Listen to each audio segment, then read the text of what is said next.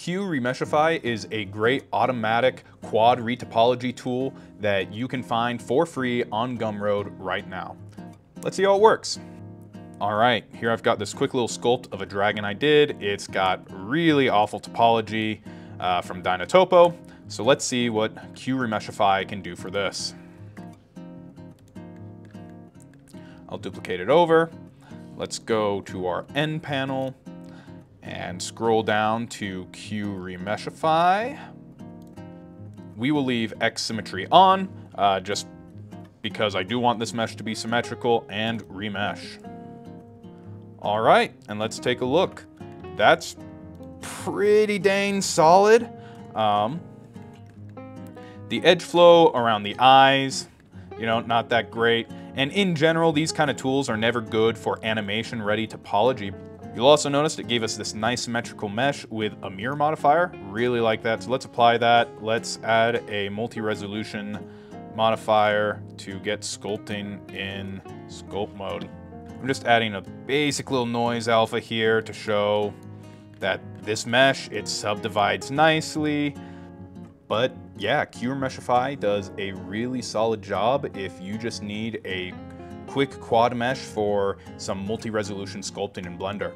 Let's hop into another project and see how QRemeshify handles more hard surface objects.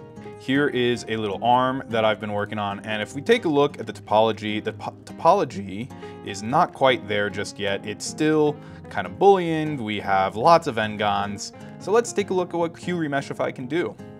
And this time we are going to leave sharp angle detect on. We'll actually want symmetry here on the y-axis. Let's see how it does. All right, taking a quick little look, that is not bad. Um, this is not the topology that I would probably use. Um, you can see that as it's, it's done a really good job of keeping these sharp edges because the, uh, these cylinders are not very high resolution. So what we can do is we can turn this density down, or is it up? Let's see. Let's turn that to like five and remesh.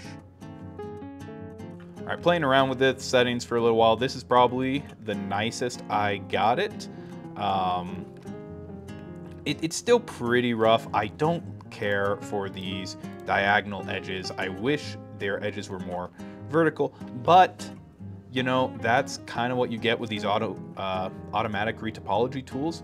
And to be fair, like it does a really, really solid job just to be free on Gumroad. And just again, this add-on is Q Remeshify on Gumroad. You can download it there for free, but I'd recommend sending a little bit of money the creator's way. It's They've just managed to create this great free retopology add-on, and yeah, that's it.